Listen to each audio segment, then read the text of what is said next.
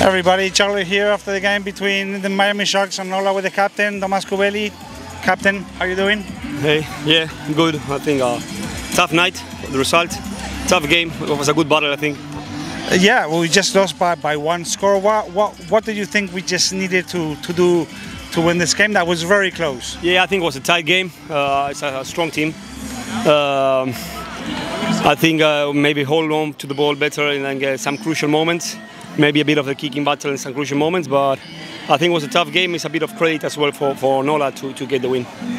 For sure. Uh, so I, I guess this this we're, we're looking at uh, a scene regarding playoffs really like impossible, right? At this point. Uh, or, or do I, I don't think so. No? Or, no, I don't think so. We have three games to go, and I think like we showed today, we can win against. Uh, we can beat anybody. We can beat anybody.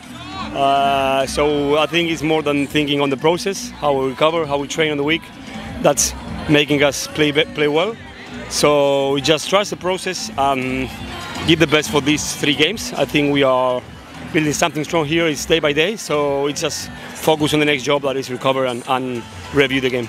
For sure. When is this guy going to start playing? Yeah, nah, well, I don't know. When he wants, if he wants someone and he uh, sometime and he he asks for for it, for sure I will take him to. to this will be what fourth generation, right?